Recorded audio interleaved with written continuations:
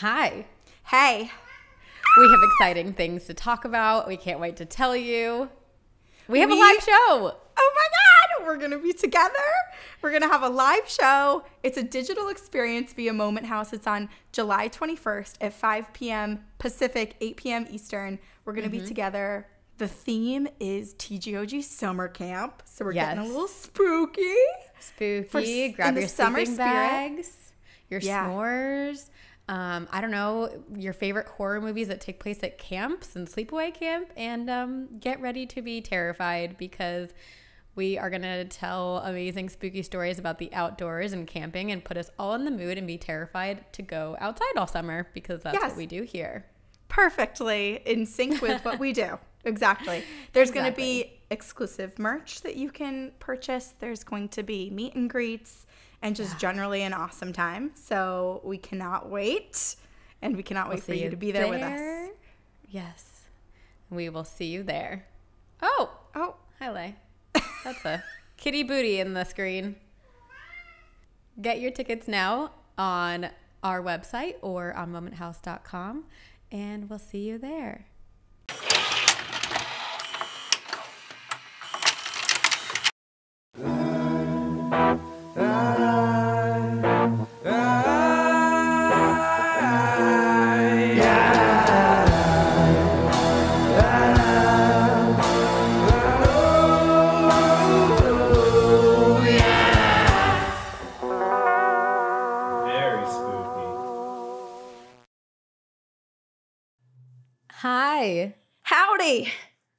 Welcome. Welcome. This is Two Girls, One Ghost. Two girls, one ghost.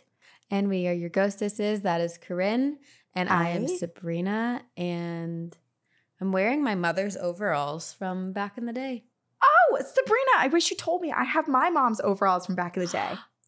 We could have been matching. We could have been. I think it's like, Oh, I, I don't even, I think they're like OshKosh B'gosh or something like that. oh my gosh. Oh, Wow. These are funny. Old Navy. They, I mean, they look great. I like the color. The wash is awesome. People who are watching our best. YouTube will get to actually see. And My you're wearing outfit. is that a Whit, is that your Whitney Houston shirt underneath it? This is my Romeo's pizza shirt.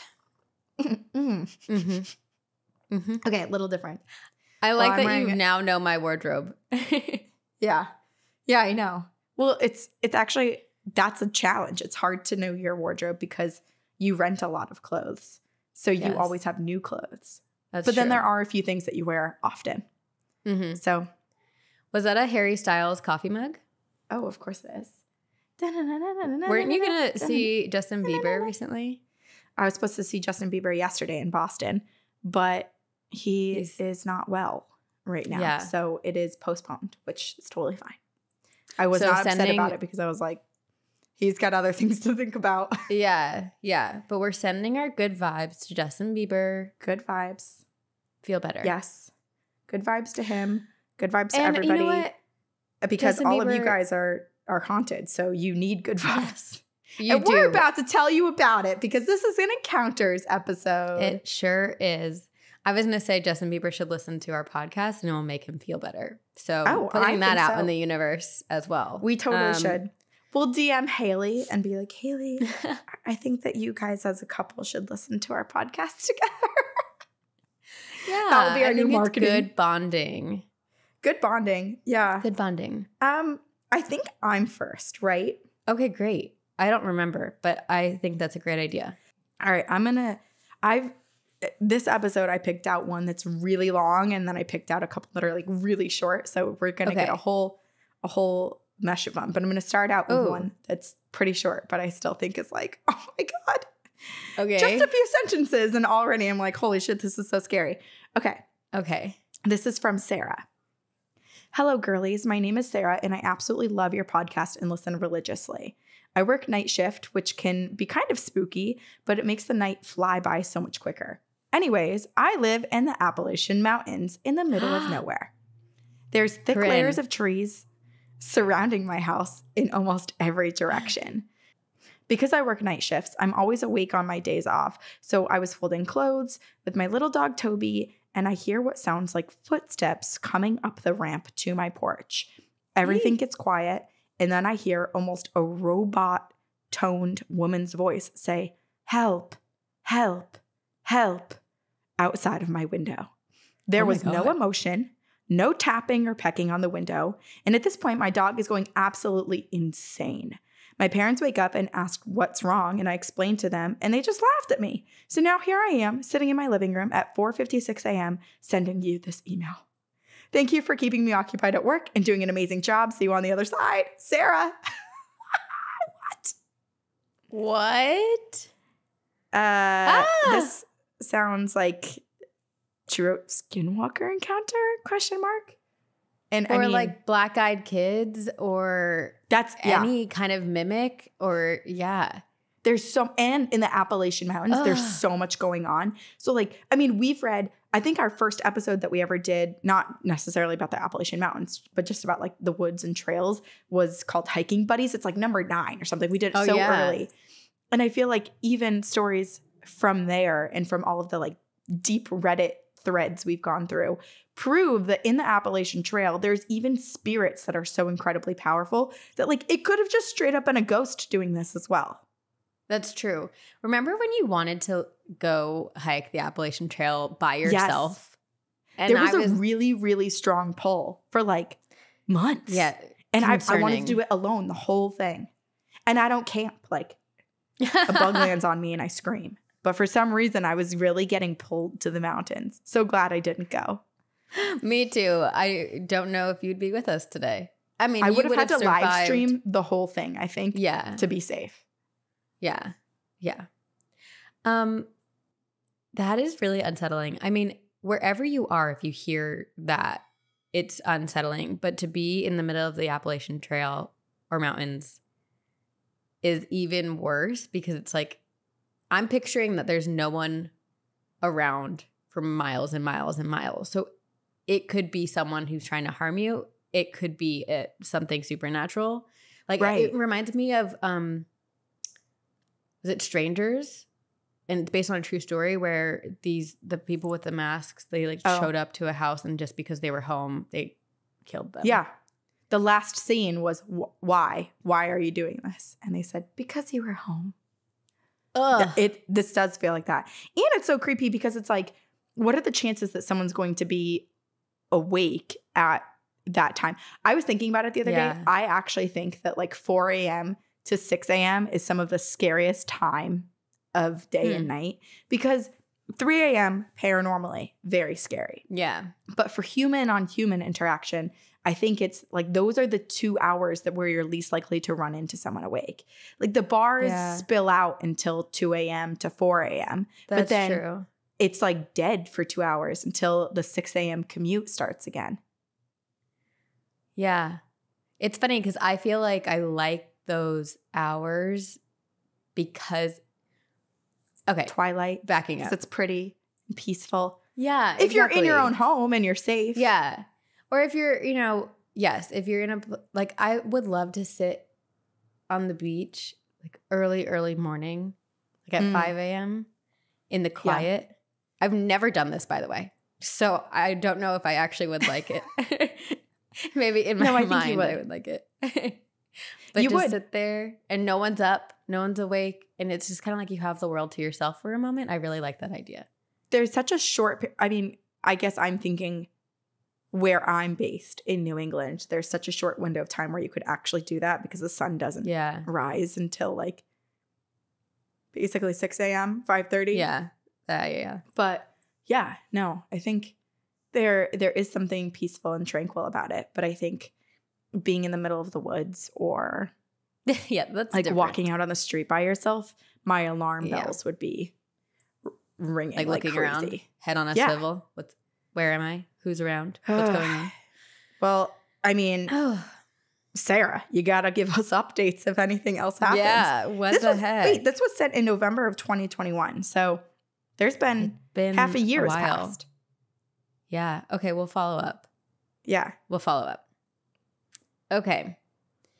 I have a story from our listener, Danielle, and it's called My Dad Accidentally Adopted a Ghost Child. Hello, ladies. Happy All- Father's Day. This is basically like we're a little late at this point, two weeks late, Yeah. but this feels like we should have read this for that. We're recording it right after Father's Day, so I guess Yeah. it's it's still Father's Day. Um, okay. I'll do my best to try and make this make sense. I am not the best at telling stories. But I lived in a house that was haunted by three different spirits. One was the Hat Man, the other was the Slender Shadow, and the other one was a little boy who gave me very mixed vibes. The boy was very mischievous and liked to make, oh gosh, my little sister cry at night because she said, He'll never leave me alone. So, of course, my dad would come to our room to calm her down and say out loud to the boy, It's time you leave her alone. Yeah. There were mornings when my dad would go to work, and my stepmom would say that once he left, the boy would appear at the end of her bed and scare her. no. That went on for years until my dad and stepmom split. She took the kids, and it was just me and my dad in that house after that. It was a bad year after the split, and of course, spirits feed off of negative vibes that you put out. And man, oh man, was there a lot of negativity in that house. Yikes. Not only did the two evil spirits get stronger, but the boy did too. He appeared in a dream of mine, in quotes. He hit my head while I was trying to nap, and he liked to hit things off the counter. Well, my dad was a drunk and liked to talk to the boy, saying things a parent would say to a child when they misbehave, like, Leave Rosie alone, she's not doing anything to you, or stop throwing that and behave. And this is also creepiest thing- frustrating me because this isn't just like a- normal child ghost who's kind of like playing or, or or figuring out what they can do. This feels like the annoying kid that you Mhm. you like had to hang out with that you're like, oh my God, like, do you not have any parenting? Just fucking stop slapping me. Yeah, or like leave me alone. Yeah, I'm getting annoyed for her Yeah. on her behalf. Because that's it really annoying. is kind of like a sibling. yeah. Um, the creepiest thing about it is that he would listen to my dad when he asked him to stop. Well, when we went our separate ways after a year of living there alone, leaving the house behind, I thought we left him bef- behind too, but I just found out this Easter after bringing up the old hauntings we all experienced that the boy followed my dad. My dad told me that he still to this day hears child's laughter in the spare bedroom. His new wife sees a boy sometimes in the hallway, and things like Oh. keys, glasses, and other little things get misplaced and will not appear again until my dad gets frustrated and says, That is enough. I need my keys or glasses or whatever it is that's missing. and then he'll go look around the house and they'll be back where they are supposed to be. I asked him how he knew it was the same spirit, and he said he just feels the same kind of energy from the boy that he felt at the old house. I Hmm. told him that is why you don't talk to spirits and especially not try to parent them. LOL. Well, that's all for now. You are amazing. Keep doing what you do best. Danielle. Wow. I mean, here we go. Here's his his opportunity for redemption and to have a little bit more parenting in his life. Mm-hmm. That's kind of nice. I mean, clearly he appreciated having a parent that acknowledged him and also kind of course corrected some of his behavior because that child Yeah. did not have to go on with the dad who was saying Mm-mm. knock it off. But maybe it just reminded this child of like his maybe his life with his other siblings. And he I do. just was yeah. And or just like he just, I mean, maybe he passed away young and he missed his parents and Yeah. he liked having this father figure around. I am glad that the little boy didn't follow Danielle because it sounds like Danielle would have been furious. Yeah. Well, that's an interesting point because I feel like so many times when we read stories about little kid spirits being around other little kid living human beings, Mm-hmm. it's often assumed that the connection is with the other children, that they just like want to play with the other kids. But it's interesting that, to think that maybe what the spirit is missing most is their parent. their parent. That's so sad. Now I'm gonna cry. Now I'm sad about this. Oh, it is funny. Like I feel like I have lived away from my family now for almost like 10, 12 years. Oh my gosh. 11 years? That's wild. And so I don't see my family often, but like there are times where I'm like, I just want a hug from my mom, or like, you know, I just want that Yeah. like that feeling. And so I don't blame Especially when you're sick. boy. too. Oh, right. Yeah. Whenever you're sick, you're like, oh, I just want to be in my childhood home on the couch watching like Yes. 48 hours and Where my forensic mom's, like, files Brushing my hair. Law and or, Order like, SVU. Yes. ugh, scratching my back. Yeah. Coming and taking my temperature. My mom used to g- give us sleeping bags when we were sick. We would literally be in a sleeping bag on the couch. It was like camping. I think because we were, you know, you had the chills and you're so cold. So we'd have like yeah. our sleeping bag and then we'd have like more blankets inside to like to try to get oh. as warm as we possibly could. But then also part of me thinks that it was her way of ensuring that we didn't like sweat through the couch and make it gross because we had something underneath us. I think it was a little bit of a germaphobe I was gonna say, move. I feel like when you're sick, you get like hot and cold. So if you're in a sleeping bag, yeah, you might be cold for a minute, but then like all of a sudden you're like dripping sweat. yeah, but then you just unzip and you throw it throw it out, release the heat. Release it was a good the trick. heat. Did you ever Release fake sick? Did you ever do what they did in ET and heat the thermometer in a light bulb? No, did you? Yeah, of course. Really? Mm-hmm. Did did it fool your parents? Yeah. Oh, Sabrina. I feel like okay, here's the thing about being sick. It never came at a time where you like wanted to be sick. Yeah. I remember like there were multiple times where I had birthday parties that I was super excited about or like sports games and I would get sick and I'd have a fever and I'd be so I would try so hard to pretend I was fine because Right. I wanted to go do those things. But then if I had a test that I didn't study for or I don't know, I was bullied in school or I just didn't want to like go do those things and I I would prefer to be sick at those moments so Right. that I don't have to I go. know. It never them. aligns quite right. Yeah. Aw.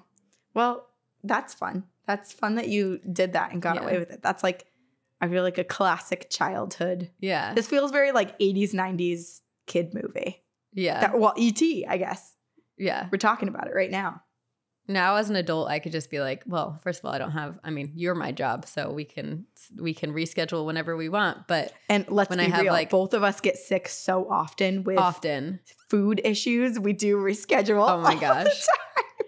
well the amount of times we'll text each other and be like um so i just ate something and i think it had cheese or i think it had gluten and um i'm throwing up so i'll keep you updated how i'm feeling in 20 minutes Yeah. And oftentimes it was like, oh, I was just about to text you the same thing. I don't know what happened, but I am down for the count. at least we're on sync in sync with that as well I know. I actually need, we'll get back to ghost stories in a second, but I owe my doctor a call because I did another allergy test. Mm-hmm. And guess what came up? Which I'm like in denial. So I need to call them and be like, what does Oh, this no. actually mean? what Eggs. Egg. Everything else was like barely there or maybe a little bit of a reaction. And then eggs were just like red. It was like egg, egg, egg, egg white, egg yolk. And then, but I eat eggs all the time. Like I literally make hard boiled eggs like for lunch. I'll have like strawberries and hard boiled egg. So I'm like, fuck, this sucks. That's heartbreaking. Mm. I'm gonna have to be vegan, but I'll fi- I'll figure it out. I'll That's get back so to you. Hopefully, it was a mistake. That's what. It's a fluke. Hopefully, all my blood work was wrong. It was someone else's. It wasn't yours. it got mixed up. Actually, wait. To diverge one more time, yes. I have have not told you about. Remember when I went and got blood work, and I was like, it actually was really tough because I usually faint, or I shouldn't say usually. yeah. I faint every once in a while from anything medical and especially from blood, specifically from seeing it, from talking about Uh-huh. it too much, from yeah, I, I won't Watch you faint right now. on yeah, I know. That's I just started to get a little woozy. But so I, I know what fainting is like. And usually I'm out for a couple seconds and everything goes like black and it kind of like twinkles. And then I have like a little dream and I come back and I'm just like, you know, a little teary and, and discombobulated, a little Yeah. confused. This past time, Sabrina, I actually partially think I died. Like I think I was like in the astral plane. I, it was bad. Did I tell you about this? no, what happened? Oh, I I was like I was so rocked by the experience that I was bawling my eyes out and Brian had to come get me and I was going like sobbing like like I had actually like seen What a mass murder in front of me. I so I could could sense I was about to faint. So I said out loud, I'm feeling faint and then it started to go like this and I go, I'm going to faint. So and that was the last thing I remember. I was out. And so the woman I presume the nurse had like turned around and started to to care for me. My dream was really long and it was really confusing. It was this woman, she was this I was like sitting down talking to this woman. She was like I don't know, maybe in her 40s. She's black. It had natural hair that was kind of like a shoulder ish length. And we were sitting down and talking about something. And I couldn't remember what it was, but I remember it was like a very serious thing that we're talking about and like decision. But it was really, it was really disorienting because all around her was like, you know, when on TV, when they try to depict someone on psychedelics and it's like really trippy and there's like, you know, paisley and like tie dye colors and everything's like woo woo. woo. Everything was like that around us, but we were like focused on each other and talking. This is like the And OA. then- I need to rewatch the OA. Actually, that's so weird that you said that because I literally Googled this morning, is season three of the OA really not going to happen? and apparently it's not. it's um, not. Yeah. But I was like, I was like so focused. And then all of a sudden, Sabrina, I was getting ripped out and thrown back in. So it was really difficult for me to She's actually your wake spirit up guide. from it. Maybe because I was like, I would literally flash back into my body and I I would see the nurse that was like putting the ice pack behind my head and like moving the chair down. But then I'd get Oh. ripped back with her and she was kind of like standing there, kind of reaching for me, but like kind of watching me fall back. And I went back and forth probably like three times. And it was so scary. Like I literally thought I died. So I was sobbing. But, I could barely stand. But do you feel like the conversation you were having with this woman was important? Like, was it about your life? It kind of felt like that, but I don't but I can't remember what we talked about. I just remember that Hmm. it was very that that what we were talking about was serious. And maybe it was life, but like it wasn't like a two-way conversation. Corinne. It was about me. And she was you got to get your blood drawn again, and we're going to send you back to the astral plane. We're going to do this. It's going to. It, it do it for the oh sake of Oh my the people who are listening to this podcast, Corinne. No. Sacrifice I literally couldn't talk about it for a week. I tried to tell my parents like two days after it happened. I just started bawling as I was telling them. Because it was re- I like feel like you had a spiritual experience. I I must have because I've fainted plenty of times, and I was out for a while too. Because I was in that room, Brian Brian was waiting for me because I knew I wouldn't be able to drive myself after getting my blood drawn. So he was in the waiting room, and he was like, "You were in there for like thirty minutes," and everyone else was in there for like five minutes, ten minutes max. Yeah, but I was there for yeah, a long like blood- time, out. Whoa. Anyway, I'm so here to talk about fascinated. ghosts. Well, this is like a paranormal I guess- experience, Corinne. yeah. This is an encounter. I know I can finally talk about it now that I'm like far enough past and I don't have the marking on my arm anymore from like the bruise of the needle. But yeah, Okay, it was I'm gonna think about this more. I'm gonna do some research. I really do think you had like, because this reminds me of when I astral projected and I had a conversation with this woman, and I I told you that if I saw her on the street, I would recognize her, and it was a full on conversation about our life, my life, yeah. and she was like guiding me. Like I think it was a spirit guide of some sort, and we had that full conversation before I went through the astral plane and then got sucked back into my body. How did you feel when you were getting sucked back in? That that part was scary because it was it felt like something else was around that I needed. Remember, it was like Yeah. someone whispered in my ear, "Wake up." right. yeah, that part was scary. Ugh. Oh wow, what a spiritual experience, Corinne. I'm sorry, it sounds scary and unsettling, but I well, do here you think are tapped having these into something. experiences and you were totally fine. I mean, I wasn't I fine. mean, and I haven't done it since, Scary, but yeah, but I've recovered. I've I've grown from it. you've grown from it. Maybe I wonder if we have the same person. What who was your person? Um, mine was a white lady, and she had very like curly, like short hair. Hmm. Okay, hairstyles very similar. Similar, yes, Very similar. yes. Interesting. All right. All right. This one I have had in my folder because you and I both have folders that's like Yeah. Corinne's and Sabrina's. So when we see emails come in, we try to like steal them Steal them. into our own folders. it's a game. so I've I've had this one ready to rock for a oh while. Oh my gosh. Okay. Okay. This is from, let me make sure. So she, she goes by, yeah, her full name, Jennifer. Okay. Dear Eek. Corinne, Sabrina, and Leia. First of all, please let me sing your praises. Newer listener, but I'm obsessed with you all and TGOG. I love everything you're doing. It's made my commute to home so much better. And I have wanted to write you for a little while because I want to share all of my experiences. But after a moment I had last night, I finally decided there's no better time than now. I've wanted to reach out because I've worked as a museum curator for 10 years and have definitely had things happen to me. And I remember you talking about how spooky museums could be in the past episode, Uh-huh. Which we just covered haunted museums. Yeah. So it was like, this is perfect. This is in addition to personal experiences that I've had with all of my loved ones who have passed. And this is a long one, so I apologize, but also I don't. Don't. So here goes. Good. Yes. I like it. Yeah, don't feel obligated to apologize. You never need to. No. Don't be f- sorry for telling us great stories ever.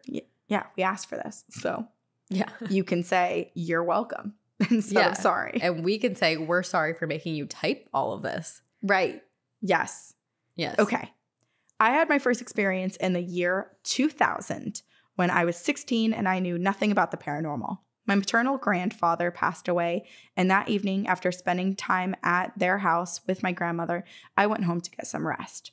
My mom stayed the night with her and my aunts, so I was home alone.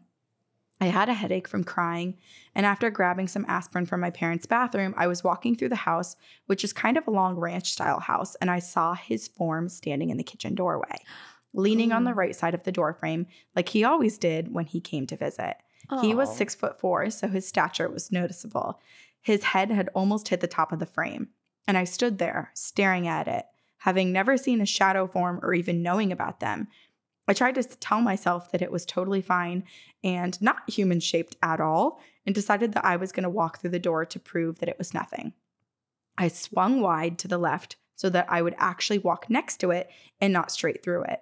And as I walked by it, I put my right ar- arm out to pass through the shadow at about waist height. This is so brave. I Ah, would never do I this. know. I'm also surprised that like she was able to get that close. I know. Yeah, they was still standing there. Yeah. I looked straight ahead as I was walking, but as my arm hit that spot, it was literally ice cold and I got chills up half of my arm. Ah. I stopped and I looked back, but nothing was there. For a couple of months after my grandfather's passing, my parents' house was active with things physically moving around.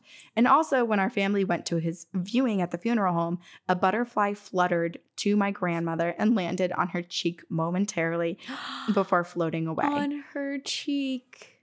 Yes. It's so gentle. It's so loving. It is really gentle. Ugh. Butterflies have always made their appearances during incredibly hard times. And I have no doubt that that was him, and more recently, my grandmother's too. Hmm. So I have lost all of my grandparents at this point, and I've had experiences with all of them. Several experiences with my maternal grandmother, and I heard her say my childhood nickname, Jenny, in my right ear. My turntable and microwave both started on their own, and a small framed picture that I had kept was turning completely around no, no matter where I put it. I Hmm. also had a coworker come up to me one day while she was with me installing a museum exhibit, and we started talking about light knocking that I was hearing on a case a foot behind me. She couldn't hear it, but she felt inclined to come over and tell me what she was feeling. She asked if I had Oh. lost my grandmother recently and if I was German, which this grandmother was the only German connection that I have in my lineage. I immediately burst into tears, and she said that it was my grandmother wanting to get my attention to tell me how proud of me she was and how who I had become. Okay, so cool that her coworker has this ability. I know. Well, and two, it's like that they both experience different things at the same time. So it's like however you perceive the paranormal and however you're open to it, it's still happening around you. And so you basically get that confirmation. So cool. Wow. It is wild how people's realities can be so different. Yeah. Well, that's like in my childhood home. I would see and feel a lot at the same time my mom would hear. She heard a lot. Yeah. and I didn't hear as much. I would love to like see what part of your brains are active in different ways when those paranormal Yes. experiences are happening. That actually would be awesome. Like where does the like see. clairaudient and clairvoyant triggers in your brain? Right. I wonder if anyone has done this research before. If not, let's add it to our list of uh, business ideas. Great. Yeah, just got to go get qualified to take some brain scans real quick. B- BRB. We'll hire someone to do that part. Yeah. We will watch it all happen. we'll hook ourselves up and then have actual Ooh. people that experience more, like can, can knowingly bring things in and experience. Yeah, and we'll be say, sort of like the you- baseline of like sometimes we do, sometimes we don't. Yeah. How do we bring the ghosts though? We just bring haunted people in. Well, I think our podcast is proof that they're literally always around. That's true. We've had a lot of interference. So My brain, my brain went to um, we're gonna need someone to be playing a Ouija board while we're in the the scans. No, because then we can't get out. We're trapped. I'm not doing that. And I've already been trapped in a tight space before, so I can't. uh, yeah, what are you wishing for, Sabrina? You've already experienced the elevator. Jeez. Okay. In August of 2018, my boyfriend was assaulted in our driveway, fracturing his skull and jaw in several spots. As Oh I went out the next morning to clean up the traces of his fast food dinner that he had been bringing home and was scattered all over our yard and street, I broke down. Just then, two monarch butterflies began floating around me, one landing on my chest right over my heart. I also recently had a reading with an amazing psychic medium who told me that my spirit animals, who told me my spirit animals that she saw were a ferret and an owl, which represent courage and wisdom. And the motto on the crest of the side of my family is Concilio et animos. Sorry, I butchered Latin. I've never taken Latin, so that's my excuse, which literally means with wisdom and courage. And I actually have that tattooed on my left shoulder. So I absolutely know that they're with me. On the other side of the fam, my mom, dad, and myself simultane- simultaneously had experiences with the minute my paternal grandmother passed away, and we were on three different continents. This was in October of 2018, shortly after my boyfriend's assault, and he was still healing. I was in Falaise, Falaise, France at the time with Hmm. him and his family, and I woke up when I thought I heard him walking around our room. I rolled over and he was asleep next to me. I looked at my phone because I wondered if everyone was getting up for breakfast or something. It was only 5:35 a.m. I thought, "Oh my goodness. What if that was a ghost?" I told myself that they had gentle footsteps, so if anything, they seemed nice and respectful, maybe like a cute 18th century housekeeper. And then I fell asleep. I love that. That's where Jennifer's brain went. She's like painting this whole picture. She's just, oh, it's just like the cutest little 18th century housekeeper, just tiptoeing around, getting the things done. Oh my God, that's so adorable. You know what? Sometimes that's what you need to do, and if Yeah. you you know create this like beautiful, positive, lovely experience. I know. Hey, it worked. She fell back asleep. The next week we got back and I found out that my grandmother had passed while we were gone, and my family had decided to wait until I was home to tell me. Oh, Here's how the dots were connected. She had passed away in a little town of Cushing, Oklahoma, at home in her bed. My mom, uncle, and two nurses w- were with her. Within seconds of her passing, one of the nurses told my mom that her phone, which was on the dresser across the room, was lighting up. My mom walked over and her phone was calling me. They all saw it. Stop. I never got the call because I had my phone on airplane mode to save data. Wait, But- the nurse's phone was calling Jennifer. I think the nurse was telling her mom that her mom's phone was lighting up. Oh, oh my god! But still, But like the phone was making the call out to Jennifer. Was it's not like her, the mom was receiving Jennifer. the call.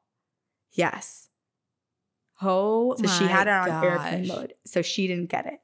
But as she hung as she hung up and while she still had her phone in her hand, my dad called her from Saudi Arabia telling her that he had a weird feeling. The time in Oklahoma was 10:35 p.m. and he called her at 10:36. She showed me the This log on her phone. Wild. Wild. Wild. I know I'm like holding my chest. I'm like, oh my God. The time difference made it 5:35 a.m. in France when she was hearing the footsteps. I heard Oh her tiptoeing around me. I also definitely felt her on that day when I went to her house, and it was the first time following her passing in several ways. Physically, with a hug that I undoubtedly felt when I walked in, and with the air creatures that surrounded her house that day. Scissor tails by the dozens, monarch butterflies by the hundreds, and ladybugs by the actual thousands. They were all over her house, and I've never witnessed anything like that. I should That is also mention that she was a Gemini, which is an air sign. And if ever there were angels, my grandma Myrtle would be one. Those creatures being there all made sense to me. This is reminding me of Moana when the grandma becomes the stingray. Uh, yeah. Oh, this is so beautiful. I mean, the fact really that is.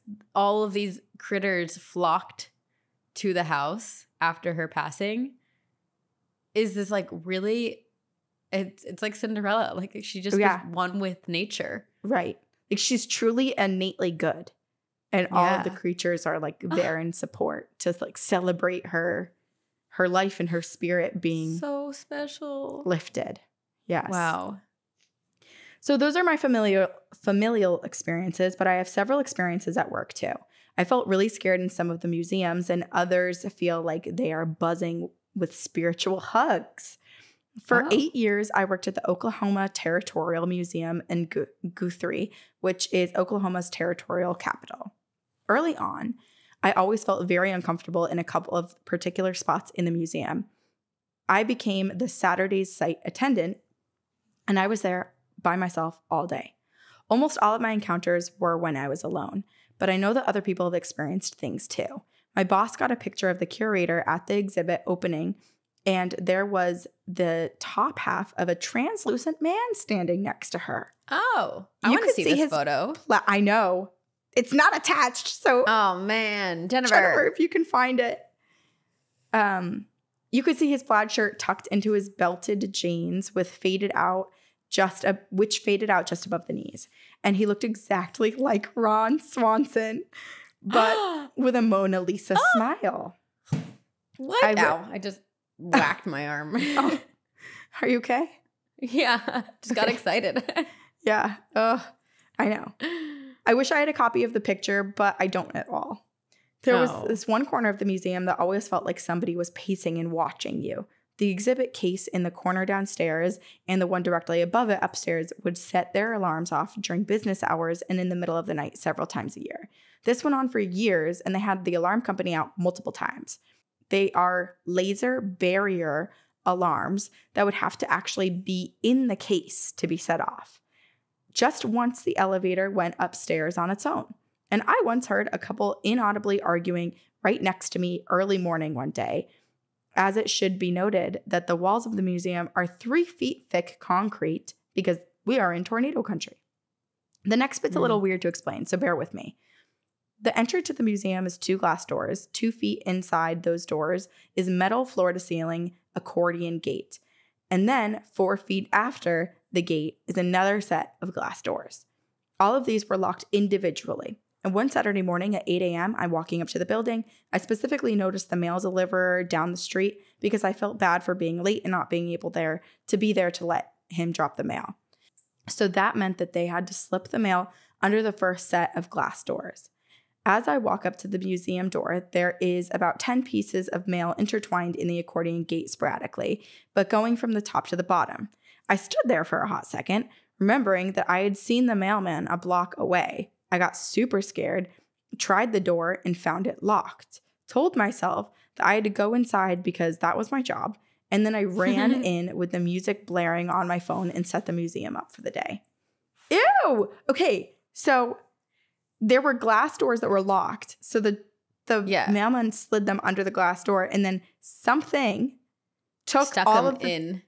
and shoved them in between the barrier, like made a little pattern in the barrier that was like four feet away.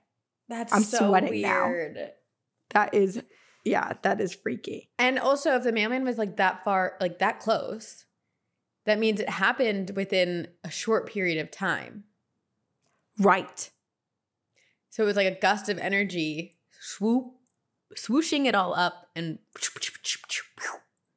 I so wonder what would have happened if the if the mail delivery person had like turned around. Did it happen as soon as they turned their back Ugh. and walked? Like if they just peeked back, would they see all the mail like swirling up and and getting Wait. pushed into the grate?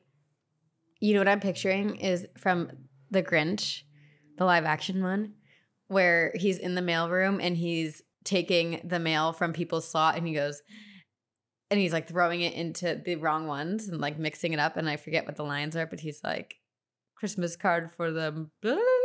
Yeah. Anyway, that's what I cannot. Yeah, that's funny. I mean, maybe maybe that was sort of the vibe.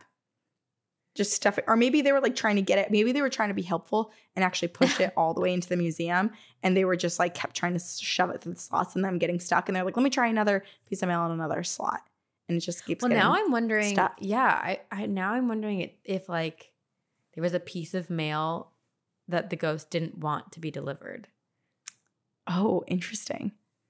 and they were like searching Secret. through it looking for. Something. Yeah.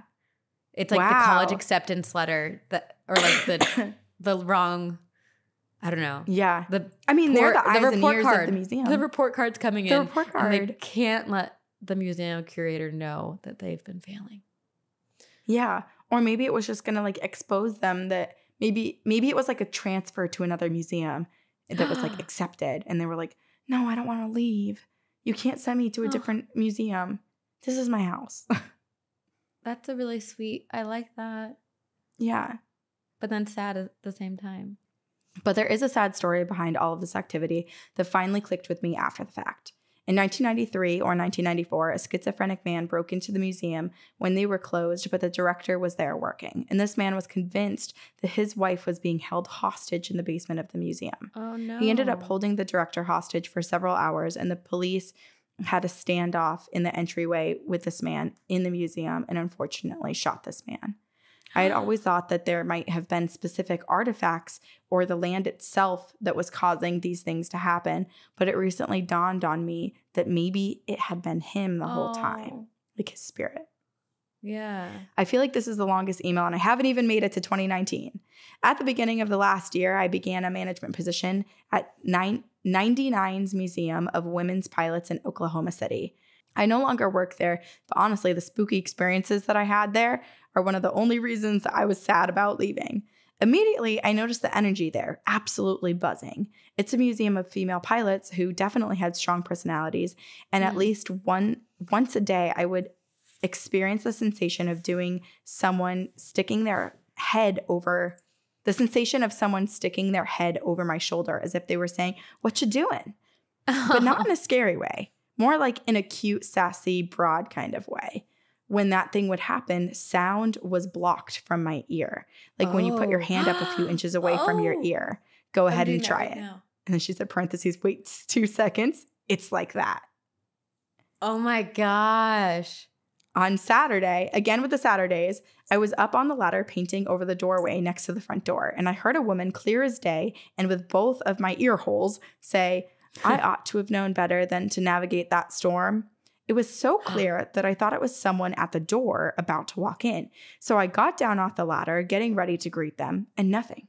I walk over to the window to see if there was a car in the parking lot with visitors. Nothing. It was awesome. I had never heard anything like that. What I noticed in the voice, though, was how articulate it was. It was super Midwestern and middle toned. Our voices tend to be deeper over time, and this sounded like a woman in her 30s or 40s. Over the next week, I tried to figure out who it might be. Most early pioneers in aviation unfortunately died in crashes, but these were usually in air shows that would have taken place during nice weather. I read about so many of the early aviators, and there's only one person who's associated with a storm of any kind Amelia Earhart. I was This- wondering if they they would be able to figure out who it was, but that's I mean, I if it was Amelia Earhart, incredible. yeah. Right. And then it makes me wonder, like how because there's no way Amelia Ear maybe maybe Amelia Earhart's only haunting that museum, but in my mind she's like haunting all over the place because she has connections to so many different places. Right. And so the fact that she just like popping in. Well, and also I feel like like Jennifer's talking about the energy in this place and how it's just absolutely buzzing. And I just picture it like being a place that Amelia Earhart or other spirits of of women who were kind of like pioneers in this in this industry wanted to congregate. It's just like, oh, let me go hang out with my fellow female aviators. Yeah, I love I like like to think that they have a little club. A female aviator club that they all hang out. They walk around the museum and say, "Oh, like, you know, I didn't I never lived long enough to see a plane like this. How what was it like flying that?" Yeah. Right, right. They're like, oh wow, they really upgraded the headgear and goggles. I could barely see out of mine. Yeah.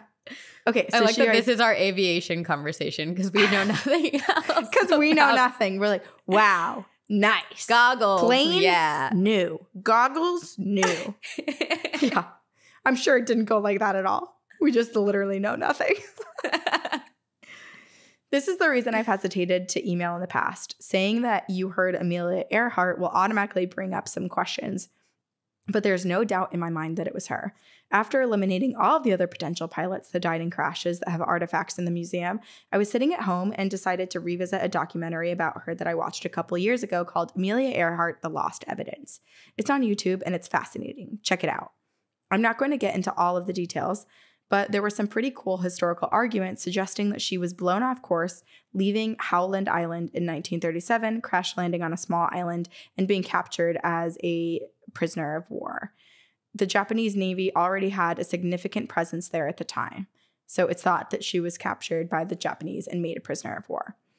I start watching Hmm. the documentary, and within a few seconds, there's a clip of her speaking. And the moment she spoke, I knew that that was the voice that I heard Oh the my God, articulation, the tone. It was 1000% her voice. I hear this and I say aloud, Oh my God. And the second I say it, there are two knocks on the closet door to my right and it popped open. And then there were two knocks on my great grandmother's phonograph player that I have in my room to the left. And I felt a hand on my shoulder, not pushing down, but softly squeezing front and back and then a release, as if as I felt the hand on my shoulder, my dog, who was sleeping, shot up and just stared at me wide eyed for a second before relaxing her eyes and laying back down. Okay, so The Amelia moment- Earhart is like your ghost pal. She's like, Yep, that's me. Don't be scared. It was knock, me. knock, knock, knock, knock, knock. Hand on your shoulder. hey. Hey, you were right. It was me. The moment I felt the release on my shoulder, I burst into tears in the way that I never have experienced. It was like I saw her, I felt her emotions, and I felt the greatest heartbreak that I have ever known, like being truly doomed.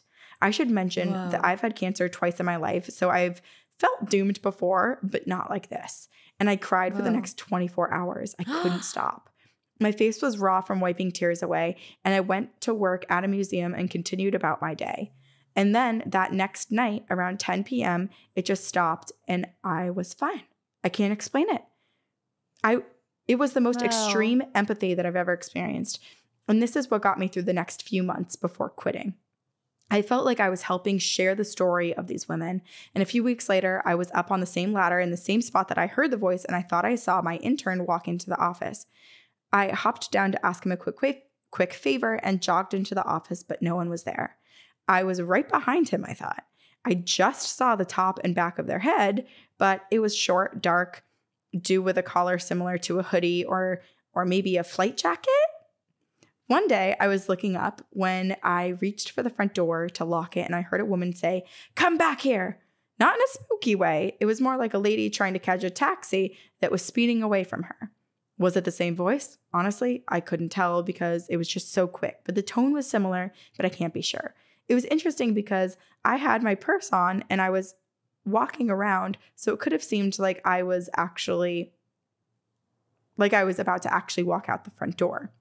Like I said, my time there ended abruptly, which is sad, but there are definitely spirits there that I was ready to hang out with for the long haul. I haven't had anything happen in quite some time until last night when I was laying in bed.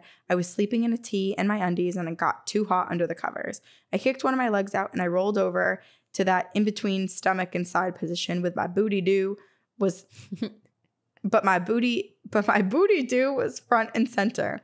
Right as I'm dozing back off, I feel a single finger poke On the booty?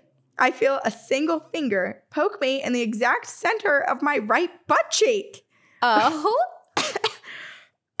Without opening my eyes, I just shouted, Nope! And I rolled back over, covering my head with the two warm covers and eventually falling back asleep. I didn't it didn't feel threatening or malicious, but more like a feisty grandparent playing a joke, bopping the booper, if you will. I've been telling myself all day that it was my maternal grandmother, Grandma Dot, trying to get my attention. I hope you enjoyed my stories. Stay spooky and see you on the other side, Jennifer. Okay, Jennifer, you have had so many experiences So many. and all of them for the most part are positive. Like I don't I'm trying to think of any that were negative. That- I mean, not really. The only thing that could potentially be a little scary was like the male in the in the slot. I mean, I guess I guess any experience with the paranormal is Yeah. scary because you're not expecting it. It's startling. But after the fact, you don't look back on it as like that was one of the scariest moments of my life. Like you can look back with some fondness or fascination. And the spirits didn't seem to like want to harm her. R- Yeah. Yeah, exactly. Like the the booty poke is my favorite because I always, you know, we had a long discussion uh, way back when, like early on, about sleeping with your feet out of the covers and being afraid that like a demon was just gonna grab them. And so we are like, well, what do you do? Because you need like some part of your body out of the covers. So we were like, kneecap, you know? Um, but in the hot summer months lately, I'm like a butt out of the covers, and like that's just the part of my body that's out. And I, if I'm a ghost, I would 100% poke the butt. yeah. It's so tempting. There's so much space to poke in the booty. yeah.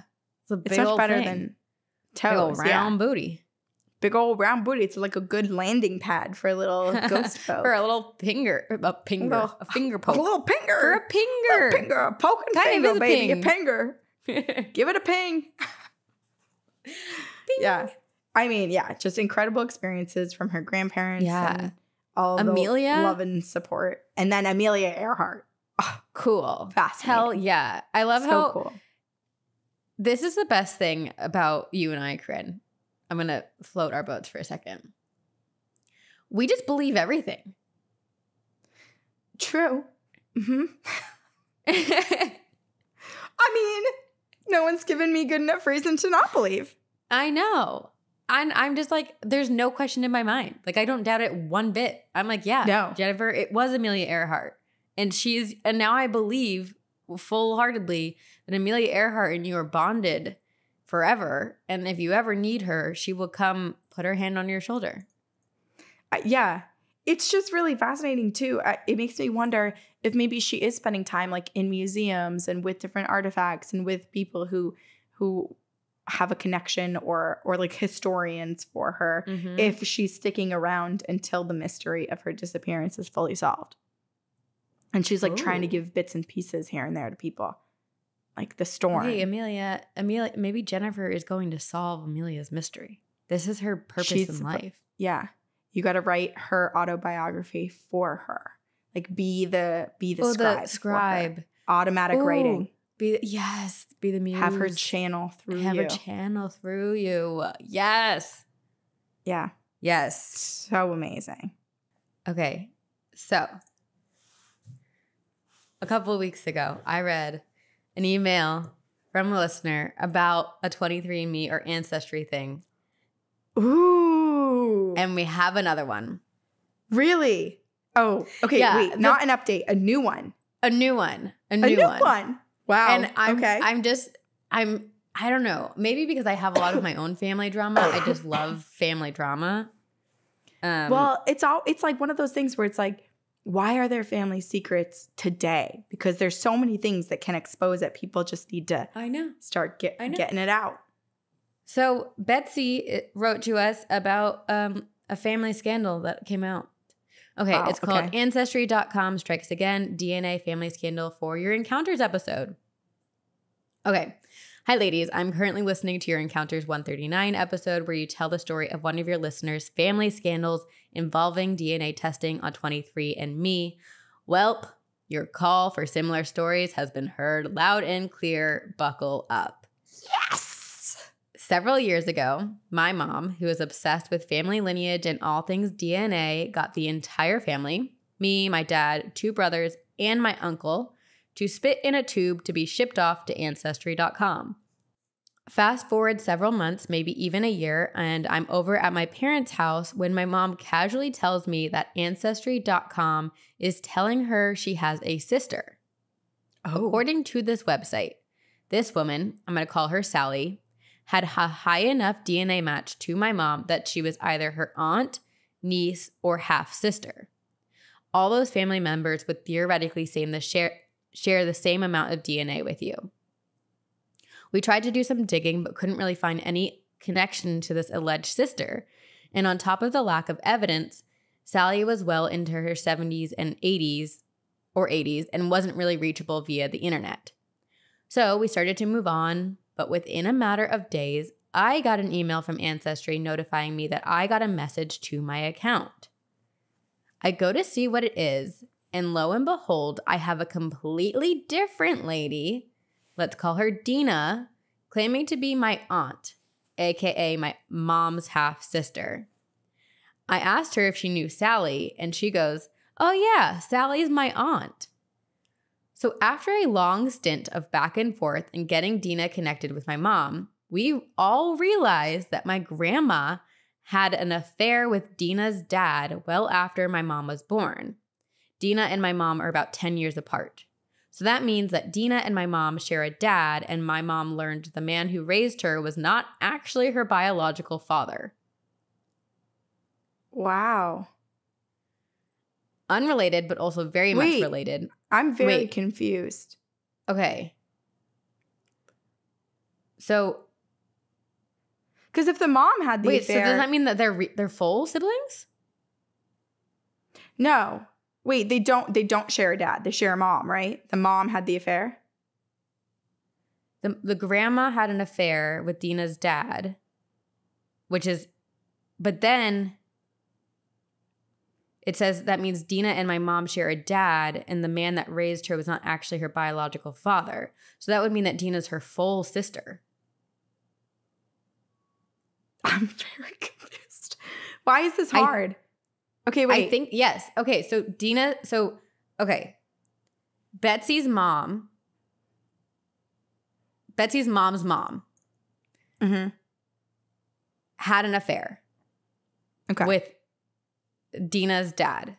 So, okay, Betsy's mom's mom had an affair with this man and had both Dina and Betsy's mom, meaning that Dina and Betsy's mom are full sisters.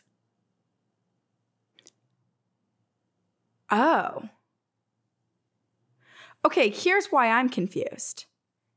Is if they're full sisters, did did, did Betsy was she raised fully or was Betsy's mom raised fully by her dad and not her mom?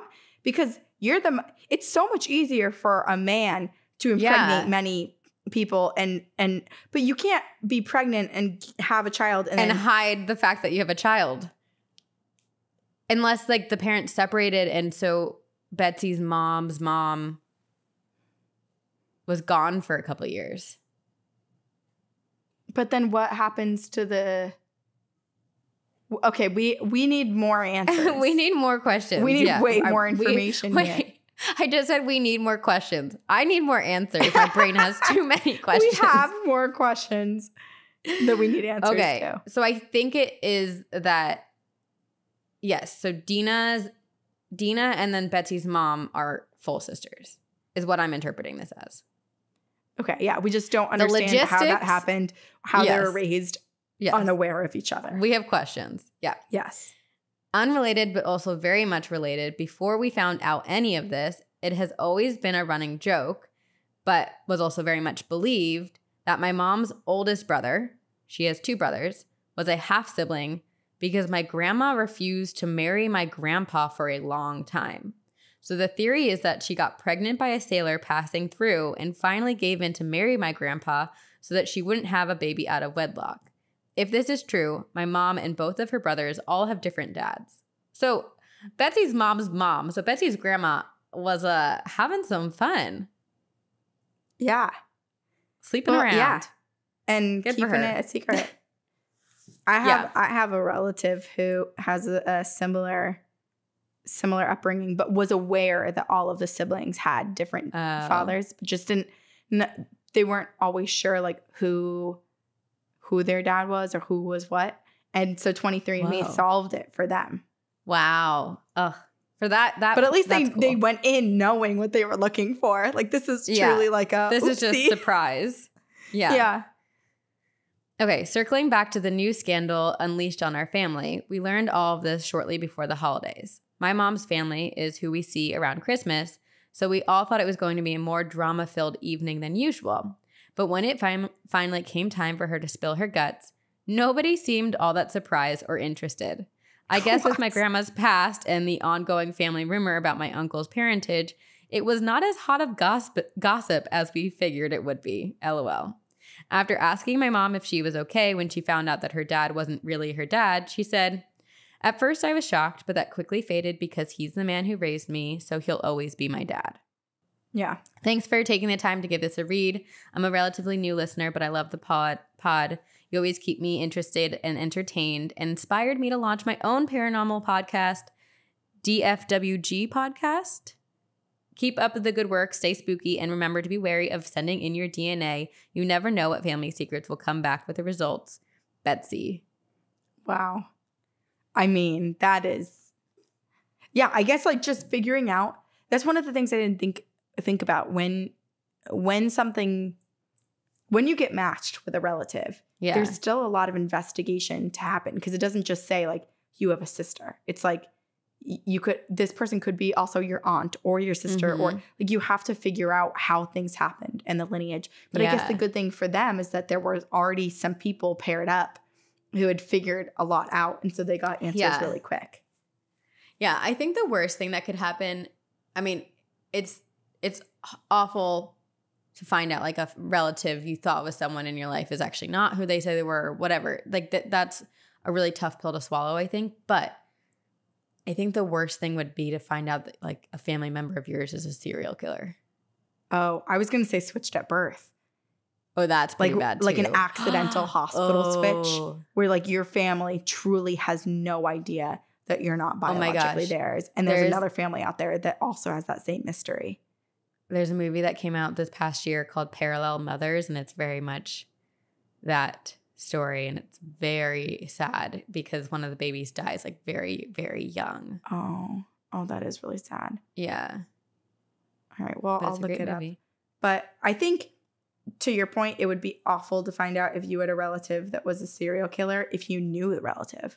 Like if it Mm. I feel like if it came out that was like your your DNA I don't know. I feel like if I like knew I was distantly distantly related to a serial killer, I'd be like that's pretty fucked up, but also Oh, I thought you were going to say fucking cool. but also cool. right? Like, I mean, it's Yeah, really yeah. disturbing. No one wants for anyone to be a mass Yeah. murderer or kill anybody, but it's also like it's one of those things where it's like, I mean, it's like the what is it like the six degrees of Kevin Bacon or five degrees? I can't. I can never remember what it is.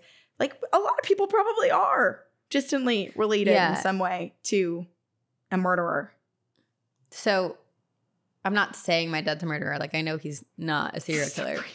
But, but my dad is a man. All right, everyone, this is the last episode we ever get to do. uh,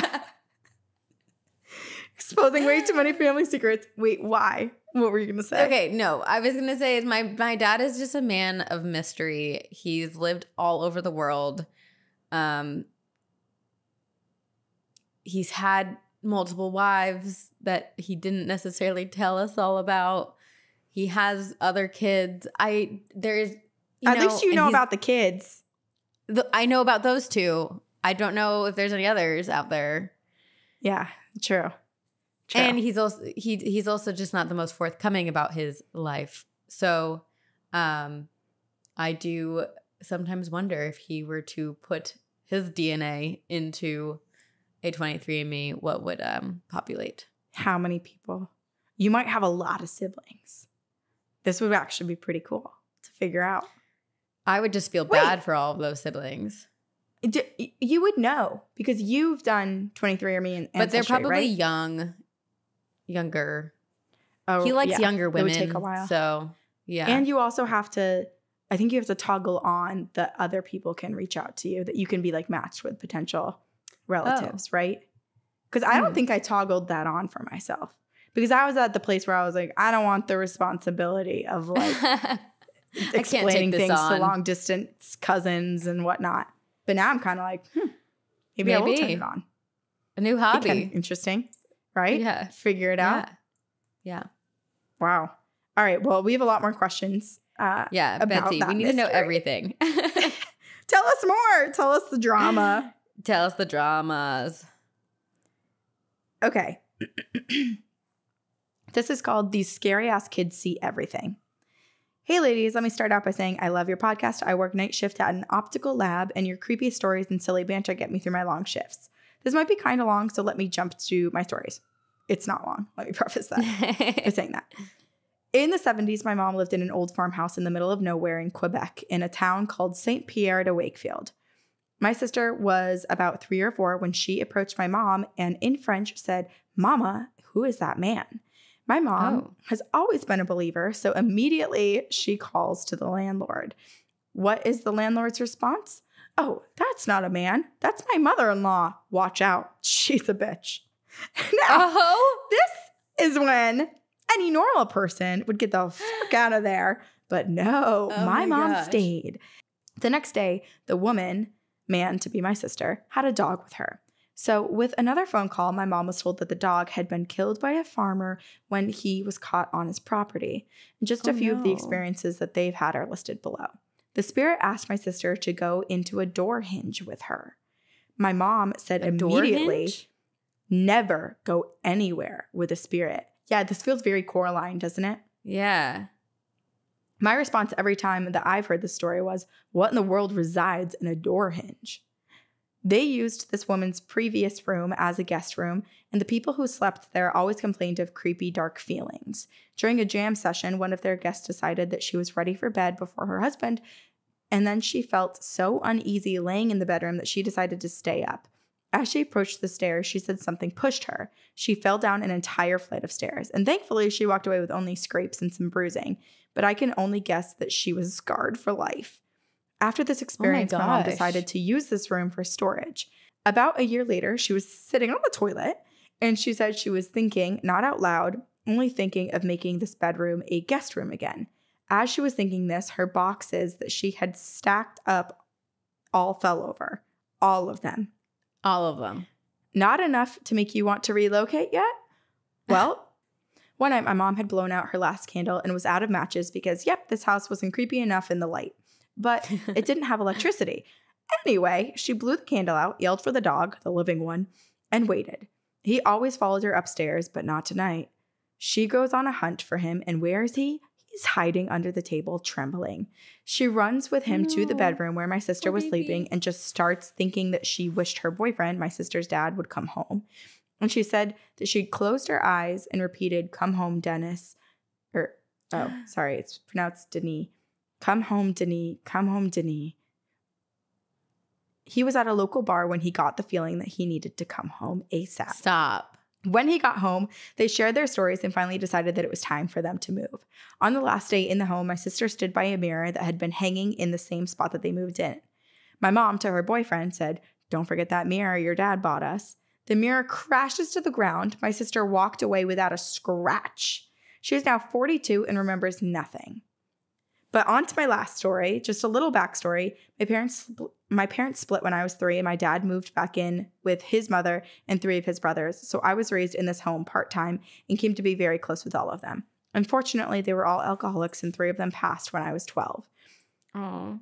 Starting with my dad and all within 7 months of each other. Oh my god. The remaining brother had been sent to prison and lived there until I was 19, and a brand new mommy to a boy who my uncle called Little Larry after him, of course. Little he would talk to me. He would walk me out to the car when I was pregnant and place one hand on my back and one on my belly, telling me to move slow because I had special cargo in there. And he'd plan to take on the grandpa role because that's what my dad would want him to do. Hmm. Unfortunately, four months later, after I had my son, whom I did not name Little Larry, my uncle was diagnosed with liver cancer and he was gone in two weeks. My, Oh my gran gosh. buried four of her children. Enough of the sadness, now on to the good stuff. When my son was 10 months old, we were walking home alone, and out of nowhere, he began repeating, The man, the man, while shaking his head no. I helped him, and he cringed and continued shaking his head and squeezing his eyes shut. I immediately called my mom, knowing that she had experience, and I asked her what to do. Tell it to leave your son the F alone. So I did just that, and silence. My son stopped. He stayed in my lap, Whoa. but he was no longer cringing, no longer screaming. Fast forward a few days later, and we're leaving our apartment, and what does my son say? Mommy, the man's coming. This went for a little over a year. It was always open the door for the man, here comes the man, and he would play in his room for hours with the man. He was Oh no longer scared, so I left it alone. Fast forward a few years, we hadn't heard about the man since he was about three, and he was now five. When one day, flipping through old photos with my gran, he stopped on a page and said, Mom, do you remember the man? That's the man, Mom. oh my gosh. I had to look for my gran to tell me who it was. It was my uncle in his late teens and early 20s, and my heart melted knowing that my son got more Oh. time with my uncle than we thought. These and are my he stories. was the one who said he was going to be the grandfather and like he was going to play that role. Oh gosh. yes. See you on the other side, Alicia. Wow. Alicia, I'm so sorry for your losses. It sounds so tragic. And I I, can't imagine losing all those people in such a short amount of time. That's really tough. But I love that even though your son was scared of the man, because I mean, that's unsettling. And I wonder what the man was saying, what your uncle was saying to him. But the fact that he was able to put it together, that's like the I best know. kind of story. The he, yeah, the the fact that he remembered too, like it was it was enough time spent and enough of like an impression and imprint made on him that he could remember from three years old what this guy looked like two years Yeah. later. There's a lot going on in kid in a kid's life, and for him to be able to remember, be like, oh, that's him. Remember him? I haven't seen him in a long time, but I remember the man, and that's the man. That's him. That's the man. wow, truly amazing. And then that first place that her mom lived in, oh my god, I know, so spooky. th- the being pushed down the stairs and like being okay, but that's so physical. The mirror coming crashing down, like Right. this is a really malicious, angry spirit. And also trying to go into the door hinge. It's like it was that like a portal? is Like is that? how they're gonna like steal the souls of the children in this home? Ew, I don't like that. I know. It's very creepy to think about. Yeah. Mm. Oh, Oh, and the poor dog, so scared. I know. I'm glad they finally left, and that I know. her mom and Denis were like on the same wavelength, of being able to connect to Oh. one another and be like, "Oh, something is wrong." Right. That's so cool. It does make me wonder if that was a result of being in the home, if there was some sort of like paranormal portal vortex thing that kind of like what amped up. What am I trying to say? Like I'm I'm losing the word for this, but basically like elevating people's abilities or Yeah, is her mom just always that open and able to connect Hmm. with people? Or just like the idea of being with a partner, if you're like that in love and intimate together, you can you just have this connection with one another mentally. Yeah. You just know. It's kind of like parents, like the parents' intuition, the mother's intuition, where you just like, you just know things. You just know. Whoa. Okay. This is this kind of ends up turning into like a um a story time with photos, Oh, okay. but it begins with a story. It is from our listener Raquel. And it is called Incubus, Past Lives, and Meeting with the Devil. Hello, my spooky ladies. My name is Uh-huh. Raquel from the good old land, Canada, and I have a very interesting life.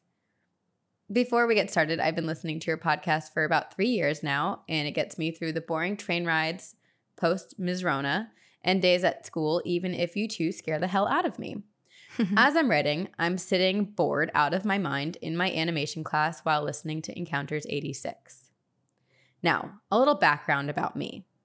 My family, mostly my dad's side, is very open to the paranormal, causing some sides of the family to get a little topsy turvy. My dad and his sisters used to live in a haunted house. One of my aunts would play with a shadow man in the corner, and the dead doctor upstairs would wave to them. My Oh, grandma could have possibly been abducted by little grays, and my deceased older cousin still likes to be in his younger sibling's life time to time. But those are not what we're talking about today. What?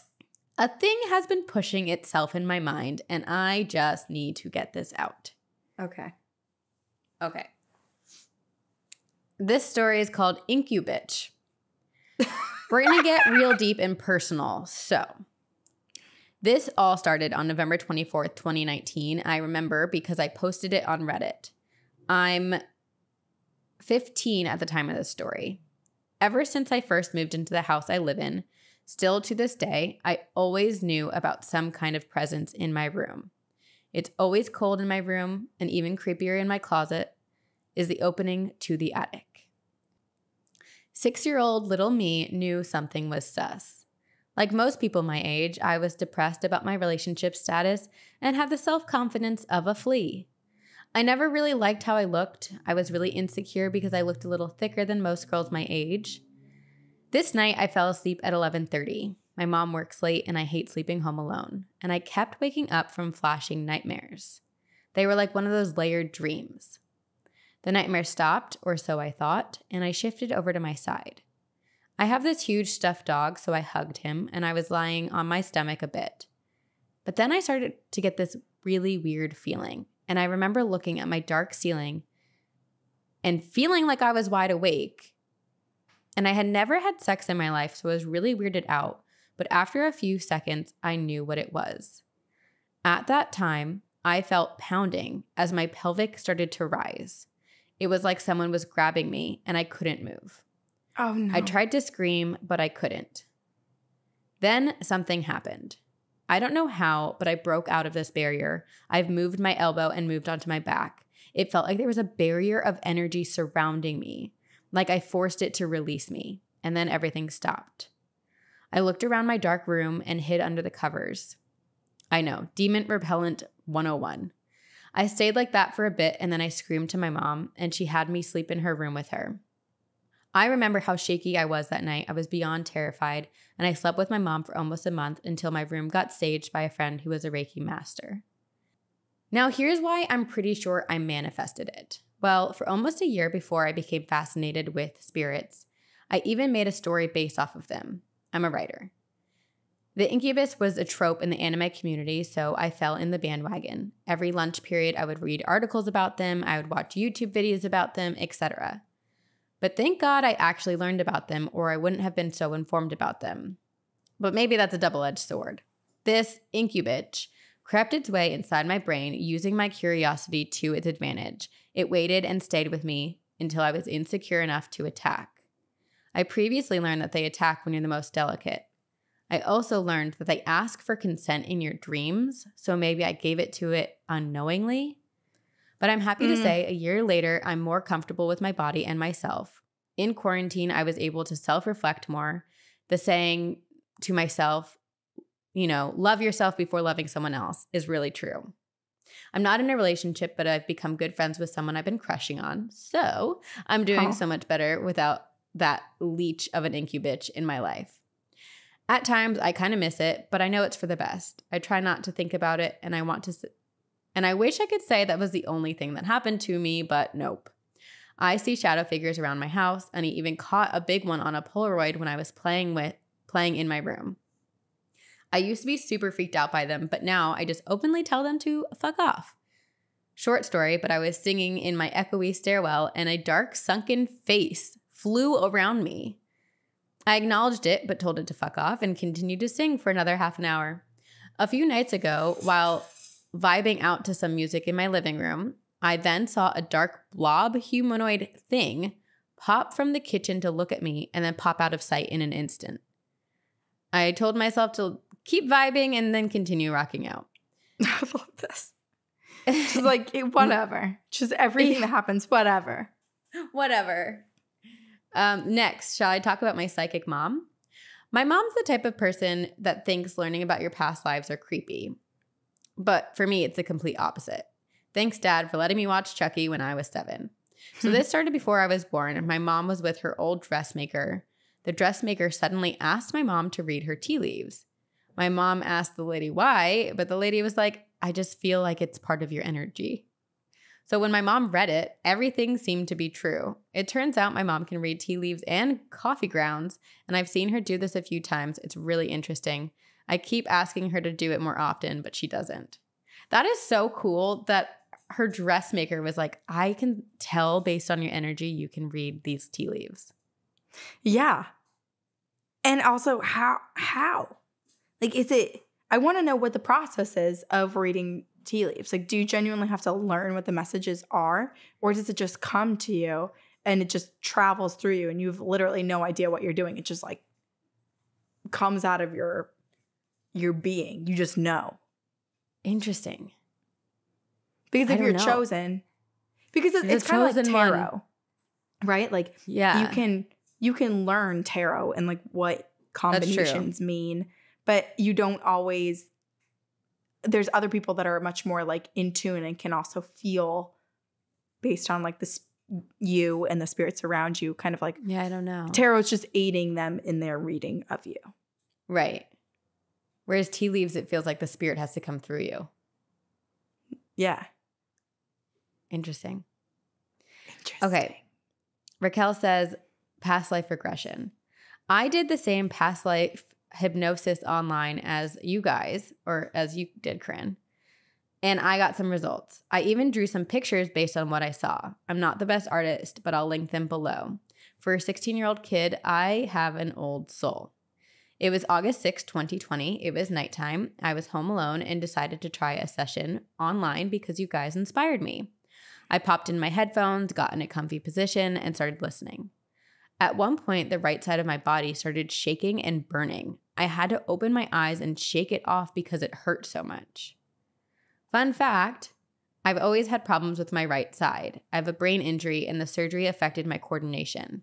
So I switched over to my left side after and had to relearn everything. I have cerebral cavernous malformation, CCM. I was born with it. I still don't feel connected to my right side like I do to my left. It's like all the light bulbs are there, are just constantly flickering. Hmm. End of fun fact. I had a hard time. I have a habit of constantly daydreaming, like I can't turn it off. But eventually I was able to relax and sink deep down. And this is what I saw. So the first scene was all in third person. I was this little boy, 10 years or so, 10 years old or so. I forgot what my hair color was. I first saw blonde shoulder length, but then later saw brown. But I remember the clothes. It was a dark colored vest, like blue, some kind of dark trousers, a white collar with puff sleeves, and a pink flat bow around my neck. I was also wearing boots that were dark too. I was kneeling down by some flowers in an closed garden. Hello, Lay. I remember the iron gate. It then pans up to what looked like stone brick towers on a huge hill covered in flowers and plants. And this is the photo. This is where it becomes a photo session. oh okay The second scene was in first person, but I couldn't feel the ground beneath my feet. It was like I was floating. I ran past a couple, a woman in a whitish gold dress and had a matching fan. She had the brightest red lipstick on and an obviously fake mole beside the lips and big platinum blonde hair. I remember her shocked expression when looking down at me. Behind her, holding her waist, was a man in a white long wig who also had a mole, but I'm pretty sure that one was real. I forget his suit, but I want to say that it was in the color scheme of red, blue, and white. But then I checked it out, and it's the French Revolutionary Army uniform. It's the one with the two crosses in the media. Interesting note I'm related to an aer- aer- aeros- aristocratic, whoa, words, to an aristocratic military family from the French Revolution. So could I have been an old family member from back in the day? and she sent That's so cool. photo. Oh my gosh. Wow. It's also interesting to think This is what the couple looked like. So fascinating. Like the fact that they looked down, like the couple, the woman looked down and was shocked to see that makes me think that they weren't supposed to be there. Yeah, like maybe That it was- Raquel is like running through her past lives actively. Right. Oh, interesting. Mhm. Or maybe that one. Because that one she said was in first person. Whereas the first one was in third person. right. Okay. Huh. So the third images or scene that Raquel saw was I ran down a dark hallway of tall rose bushes, and at the end of the roses was a blinding white light. She drew this. Wait, it's coming Come on. Do you want to. He's like, let me see. come here? Oh my gosh. Wow. Aw, She girl. Okay. Fourth. I was older, like a teenager, like 17 or 18, and I proposed to a girl. I remember she had long hair, a small gold band around her head, and a pink flowy dress. And the proposal was in a courtyard. Oh, so she's seeing like all these phases. Maybe it's all from one life, Oh, that is like really different interesting. phases. Yeah. Okay. Because then this the okay then this one's labeled another life. After that, I started getting the locations of England and Malaysia. Malaysia. I remember walking through the street. It was a war torn village, but all of the buildings were destroyed and rubble was all over the floor. And then in another scene, I remember working at a bakery. I was on a stand outside, and a lot of people liked it. That's cool. I still remember how it looked. Once again, a little I was a little boy, but I was like 12 or something with light, short brown hair. I was wearing a vest with a striped collar, trousers, knee high socks, and some shoes. I was also wearing a leather messenger bag type of thing. I had a quick realization. When I was 13, I went through a bit of an identity crisis and was feeling a bit dysphoric for a while. Although it was just because I was insecure about myself and I thought life would be better, but it makes me think maybe since I was a boy in my two past lives and all of a sudden now I'm a girl, my energy was adjusting to my gender. This is another, this is the picture. I love the visual aid that we're Me getting. too. And also, it's really helping me piece it all together. I wish I could draw like this. This is incredible. And also, Also- what a good record too for her to have Mhm. handy and be like, okay, Yeah. now I can I can look back on the experiences and dreams that I had and remember what I looked like and what I was experiencing. I'm also curious because this is really cool. Like it has notes about what she was seeing on the page with the drawings. So I'm curious if Oh, Raquel, did you do these while you were going through the regression or did you do after? Okay. So then this is, I think, the last story. So this was a random dream, but I woke up with the thought of the devil speaking to me. The background was much more dim and there was fire everywhere. I was right in front of it in a conference sort of style. I don't know how I had imagined this. I had never had a job before. I have no idea what they said, but I drew this scene later in art class. And yeah, my teacher will never look at me the same. oh my god. A conference with the devil. Oh, I also recently heard my soulmate from my desired reality when listening to an audio. Really cool, but made me super uncomfy. Wait, I need to know what does that mean? I Heard don't know. Is that sort of like alternate timelines where you are trying to like jump to the timeline that has what you're looking for, your ultimate soulmate, Oh, that's and you so can communicate with them? I know we we need to look this up. Okay, we I don't need to know know what that is. Since writing this email, I've been putting it off for a week. I've recently got a scary experience happen to me. A few nights ago, I saw something trying to shift realities. Whoa. Okay, so maybe you're right. It was it's like shifting realities. Mm. I've never heard of this. Okay. I use the heartbeat method. I need to know more. Putting on heartbeat ASMR on YouTube under my pillow and then imagining you're laying on someone's chest. And I fell asleep with thoughts of sleeping on my best anime boy's chest. A good thought, right? Well, I woke up with a panic attack. I checked my phone under my pillow. It was still there and it was 3:36 a.m. The witching hour just added to my panic attack, and I tried to get up from my bed to crawl into my mom's bed, but I collapsed on the floor. I guess the falling of my bones in this large meat suit woke up my mom because she ran to my room. My legs just instantly felt like noodles. They felt heavy. My mom picked me up, and after a few more minutes of me falling, I was in my mom's bed. I didn't hear it, but apparently I was babbling nonsense. I remember falling into two short second long dreams before feeling nauseous. what if this is like you, what you experienced Where when you're you're getting yeah, your blood drawn? falling into them. Ooh. Ooh, keep Eventually, going. I fell asleep, but the next day I felt really on edge. When I was telling my friend about these stories in art class, immediately after listening to your podcast, the audio started getting all groggy and messed up. I find that since I started this email, I've been getting messed with more and more, and I've been getting in increase in nightmares. Oh no. And th- that just it just ends. I hope you enjoyed my stories. Um, thank you for reading this astronomically long email and being my best ghoul friend when I'm feeling lonely.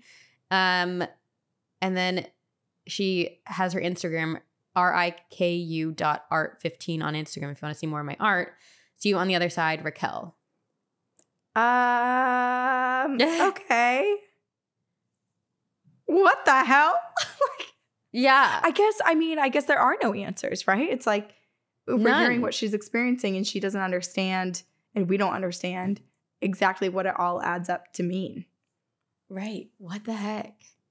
It is really interesting. Like I do I am going back to the past life regression. I am wondering what the answer is to your question before. Like was she experiencing Mhm. different lives or different periods of the same timeline?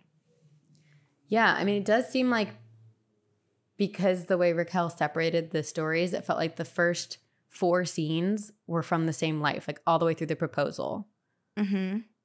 But I'm, I don't know. I don't know. There's something about past lives where I'm like, I kind of want to know, especially since she was talking about her hip or her right side of her body in this life. Like, I'm curious if something happened to her in a past life Especially that's transcended. like what if she was in the war? 'Cause she did see Yeah. the woman and the soldier. Like what if that was she was seeing herself? Yeah. Yeah. Oh, I don't know. Because maybe there was like an injury sustained during the war. And that's why there was so much attention to that one particular life because there was the trauma the trauma and the pain was supposed to be explained or like there was an attempt to tap in specifically to to what has rolled over to her current life. uh, what I've decided is Raquel, you were like so in tune with the other side and have uh, like the way her mom can read tea leaves. I think Raquel Yeah. can travel between timelines. Right, because she's getting so much out of this. Yeah. like there's so much being shown and even just when she was having the dreams where she was like slipping quickly having Yeah. these like 2 minute dreams she she can get there like she's in the astral plane she's doing something Yes. She- now she just needs to conquer like the control of it and being able to give direction to like what she wants to see and where she wants to go I'm here for this journey. Yeah me too Well, I want to astrally hold your hand as you continue on it. Yes. This is uh I need to find the piece of paper, but I you know what? Never mind. I'm not going to talk about it. Well, here. There's I'll look into me. it more. I'll look into it more, but I do know someone who was telling me about how they you know in the movie Soul where basically Yeah. like there's the people in the current world that are they're they're like astral projecting and Mhm. helping other souls who are kind of like lost work through their trauma or their past and move on. Uh-huh. I know someone who does this and she only told me on like what was kind of sort of the last time I would see her ish in Mhm. in like a long time. I'm trying to like not expose who she is, but like give you enough description to be like it's not someone who, you know, I see often or talk to often, but that I know. And so she wrote down some things for me. And I need to find the piece of paper because I was like, I really need to research this and I need to get back to her and I need her to teach me how to do this. But she's also Okay. done like insane energy and shadow work and has worked on this for like years and years. And she's so much more powerful. But yeah, she's like at this point where she can basically like, she helps people's souls. And it's really interesting because she was saying how she she will help like people who are who are alive and living because fragments of people's souls from trauma like Uh, chip off. How have I never heard this? I think because I haven't I I didn't really Do I want to, know who like- this person is? No, you do not. Oh, oh, You do oh, not. okay. But she was saying how she like works with therapists and and people in the like mental health field to help go into the astral plane and find pieces that have like of, of people's souls that have like chipped off from trauma and find them and like heal them and help them come back and like rejoin their main soul. And then that helps helps the living person basically work through their trauma. It's incredible. That is there's the a name for it though which is why i'm like where's the piece of paper? Okay, I we should do a whole episode about this. Yeah, yeah. Okay, I'll t- I'll text her and be like, "It's Can I know she the come paper. just She wrote take it over our podcast? Right. I know we should have her on. We should ask her all. yeah. Wait, that is so fascinating. yeah, but this kind of reminding me, like, I feel like Raquel can go. Like, this is the direction that she's headed in. yeah. This is Yes. she'd be fully capable of doing this. Yes, one hundred percent. That is so fascinating. So fascinating. There's a movie in that. There is. Yeah, I'm gonna write. I'm gonna write it. Oh wait, I thought you were saying that there was already a movie. No, no, no. Like this is this should be a movie. It's gonna be This a horror be a movie, and. I'm gonna write it. All okay. right. Well, I'll write it with you. I'll be your. Co- I'll consult with you. All right, I love it. We'll and we'll have our the actual person who knows all this Yes, give us Be the all the insights. yeah. Um, okay, I have one called "Ghost Experience While Listening to Your Podcast." Hi, ladies. My name is Bianni, and I live in El Paso, Texas. So my ghost experience actually happened while I was listening to your podcast. So I go to Mm. University of Texas in E EP, UTEP, and while at the student union when I was waiting for a class to start, I was listening to your podcast and ended up falling asleep. After what I assume was a few minutes, I experienced sleep paralysis. Oh no. However, this time was quite a bit different. On a side note, I fell asleep on a carpeted area of the building where people do actually go to hang out between classes, catch up on sleep, or homework or whatever. I had actually felt like I I'm was just imagining her asleep in the middle of like a, a room, and people are like, Yeah. um, hello." She's like at like the little like cafe, like Yeah. coffee shop, and she just knocked I- out. actually I don't know who can fall asleep like that. There are some people that are just like fully. I feel like I have when you're done drunk, that on like a do that. plane or in the car, and it hurts. Yeah, all the way back like that. That's Yeah. that's a skill. I slump forward. Yeah. okay. Um. So in the sleep paralysis, I had actually felt like I was being dragged by my leg on or around the carpet. I could feel the carpet like scraping on my face and a tugging What? on my leg. And this continued on and off for maybe three to six minutes. So after the dragging sensation stopped, still unable to really move, I was able to look around and I saw that there was this ghost girl around the corner just looking at me. She was Oh dressed gosh. in a plain white dress that seemed to have been stained with dirt. All of this happened while listening to your podcast. Your podcast was still playing. As I was looking at the ghost girl, I kind of like tuned in and started listening to what you guys were saying, as my mind didn't seem to have been listening before. And coincidentally, you guys were talking about this little ghost girl and her story. you seemed to describe a ghost girl, and I remember there being mention of an old wood house. And I can't remember in detail though, because dreams get kind of foggy. And after this experience, I actually woke back up. I rewound the podcast to where I left off and where I drifted off. And strangely enough, there was no mention of a ghost girl or child ghost in that particular episode, nor was there mention of the house described. I don't know if my mind made up something while I was in sleep paralysis, but what I do know is that it distinctly sounded like your guys' voice. It really spooked me. It actually happened during an earlier episode. It was episode eight, Hiking Buddies. What do you guys think? I love y'all's podcast. It's actually the only one I've listened to consistently from Bianni. Bianni. I wonder This- if, if this is like deja vu of some weird kind, or like This made me think that our podcast, because it's like, what we've learned is clearly it's able to be manipulated very easily by spirits. yeah, I was thinking that maybe this little ghost girl is on the campus. And this was like her way of being able to tell her story was in the sleep paralysis and using our voices Using and our voices to like stitch it together into her story so that Bianni would actually hear it and listen to it and like receive it. We were the we were the conduit. We were the we, were the being channeled. conduit, and we didn't even know it. Yeah. Isn't that cool? It is. It's also frightening, and the like weird being dragged feeling I don't love for Bianni. Ugh, yeah, that's true. And I'm curious if Yeah, that's old, but I do wonder if that's like the little ghost girl trying to like share her story in a different way. Like she first tried to be like, I was dragged Right. or like Yeah. hurt in a way. And then it wasn't fully getting through to Bianni. And it was like, well, now I'm going to tell you my story through the podcast. Oh, oh, that's interesting. It was just like, yeah, like the little girl was just going through the different ways to get her story out.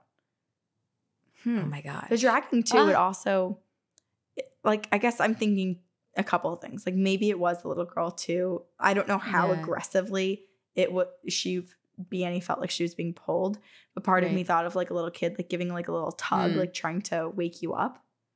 Oh, that's interesting too. Hello, Bianni. Yeah. But then the other Huh. part of me is remembering our friend Nikita's story of when she thought she was just having Yeah. a dream and was like literally dragged and woke up with Yeah, rug burns all down her body. Okay. Um, I should have planned this better, but the um, we're not going to end on a happy note. Oh, great. Okay. This is from our listener, John, and it is called The Demon That Ruined My Life That Lived in an Old Well. Okay. Hello, Ghost Girls. My name is John. Little? Oh. My name's Little John Wayne. Oh, LOL, yes, my name's John Wayne, like the Duke on the old Westerns. And sorry for the story being so long. I started listening to you guys about a year ago, and you're amazing and very beautiful, but I have a story for you girls. I was around 14 years old, and my dad just bought an old store that was built on old land. The building was over 100 years old, and now it's 120 some years old. Well, he was looking around, and we found what we thought was an old well. It had rocks that was in the ground and was in a circle. And my father and I were thinking it's a real well, or maybe it's just rocks that are stuck in the ground. So my dad said, Hey, let's see if a real one. And he grabs a long metal rod and went to stab the ground. And I said, No, dad, stop. I want to do it, which was a bad idea. So I grabbed the metal rod and stabbed the ground. And as soon as I did, water bugs started coming out of the ground, like hundreds of them. Oh, this is exactly what I pictured. You know the movie The Mummy and how like the scarabs come out of the ground? That is the way it was. So I mm. jumped back and all of a sudden felt really, really weird. See, I come from a family that hated drugs and alcohol, and I said I would never do it. And I mean, never. And I shook it off me and went into the house and thought nothing of it. Well, a week went by, and I wanted to smoke and drink and wanted to just go and do bad things. And I did. Years went by, and I became an addict for over about 20 years. So I look back and I thought about the well. And I think now that the demon or spirit or whatever it was attached itself to me and wouldn't let go. So I went to a green witch in another county that my aunt had told me about. And as soon as I go into her shop, she looks at me and says, "You have something something bad attached to your back, and it is a black shadowy figure that will not let go." Ooh. I have seen the figure more than once. I've seen it thousands of times, really. So I start to freak out and ask a ton of questions. And she goes, Come, sit down. Please calm down because I was going a little wild. So she sits me down and talks to me and tells me to go home, take sage, to burn it, and take a broom and sweep my house and sweep it out the door while you break while burning the sage. So I did it, and I'm a religious man, but I believe in the paranormal because trust me, I know it's real. I asked from I asked for help from God and I did as the woman had told me, and something happened to me. I felt like a big weight lifted off my shoulder and my back. I have been five and a half years sober, and after the- the first year of being sober from drinking, I got my life back. Whatever this thing was has had a hold on me for over 20 years, and I'm so happy that I was able to get away from it. Thank you, girls, for the podcast. It has helped me so much just to hear other stories. It makes me realize I'm not the only one that has stuff like this happen to me. Thanks so much. I'll see you on the other side. Thanks from John Wayne from Kentucky. Wow, John Wayne. Oh my God. This is so. I, I mean, the fact that I don't blame John at all for freaking out when when finding out that what he thought he was experiencing and seeing for a long time is very much being experienced by someone else and is true. Yeah. and it's like here is this like dark demon attached to you. That's Yeah. horrifying to hear. And also the fact that like the day he did all of the cleansing and prayers and swept away the darkness, he was able to become sober. Like one, congratulations. What an amazing feat to be able to overcome an addiction like that. But it just to me reassures the fact that like this darkness had such a hold over him because addiction is like not an easy like oh let's do this one thing and I'm you know I'm clean and I'm gonna kick it like, yeah, you so can't. for- most people don't quit cold turkey. It doesn't. No, it's very hard like to. that. Yeah, Right. so it's kind of incredible that it was like an instant relief of feeling getting rid Well, of this and- thing. Yeah, and also like I, I think if I were in that position and I heard what he heard, uh, and I was struggling with the addiction and feeling kind of like Mhm. my life was spiraling, and I then learn I have a demon attached to me, I can't. I don't know if I would be super optimistic and like going through the cleansing. I feel like I would. I'd be like, oh my god, what else does the universe have to throw? at me? Yeah. Like I feel so defeated and I feel so down, and it's so amazing that he just was like, I'm gonna follow the steps, I'm gonna do the thing, and just came out so re-energized and yeah, with so much get your life like opportunity for life. John. I, um, John Wayne. I want to know, um, what else happened with this conversation with the Green Witch? Like, I imagine she told you a lot, and I want to know. Yeah. Tell us. I want And also, what happened to the well? Person, what happened in the well? And also, what's the contact for the Green Witch? I want everyone who's had an experience with with someone who's read them or helped them Mhm. to write down the contacts of these people so we can Yes. compile like here's a reputable list of all the people yeah, who that's like such a good idea. truly know and help. It's like psychology today for for um mediums and psychics and green witches. Right. Yeah. Which is like I feel like it needs there needs to be something like that because We're gonna and it would create be a really- another business idea. we are T freaking M. T freaking M on this. But- T freaking M. But for real, it's hard. Like, you know, there's so many Yeah. scammers, there's so many in any profession. But Yeah. this is one of the things like we just send us send us the contacts of people. Please. Send it all to us. Send us your emails and your stories and everything. We want to hear them all. Email us at Mhm. two girls one ghost podcast at gmail.com. Come fall into the triangle. Get lost in it with us. Get lost tell the all of your friends about our podcast. The more you tell, the higher up in the pyramid scheme you will become. Yeah. Um, And, the ghosts will review like you for it. Yes, because we are the, most haunted podcast in America. Um, and another thing that you can do aside from joining the triangle that's actually super, super helpful, and you hear it at the end of every podcast, is to rate and review. Yeah. That is Please. truly it, it helps a lot. Subscribe, Yeah. tell everybody, watch us on YouTube, subscribe to that, join our Patreon. We have Yeah. new merch that's coming out. Uh, by the time this comes out, it might be out. I'm not good at math. Yeah, I'm looking at the so. calendar right now. Uh, so that will be super fun. Yeah. So exciting. Live show! Um, live show. Um, all of, all of the things. We're lots of lots of things happening. We're so excited. Mm-hmm. We can't wait to I don't know, the live show is gonna be so fun. We can't wait. It's, gonna, be so great. fun. Um, yeah. So follow along on all the fun journey, spooky things that we're doing. And um, thank you to Aiden Manning and Eric Foster and the entire team at Fire Digital for editing both our audio and our YouTube videos. We're just very, very grateful for such a cool team. Yes. Uh, and we're grateful for, for all of you. And if we don't see you on this side, we will See see you on the, the other, side. Wait, I really like that as the. That's our And new ending. Okay, we'll update. Oh, Year- okay. going into year five. If we don't see you on this side, we will see we'll you see on you the on the other other side. Love it. Brilliant. Okay, bye. Bye.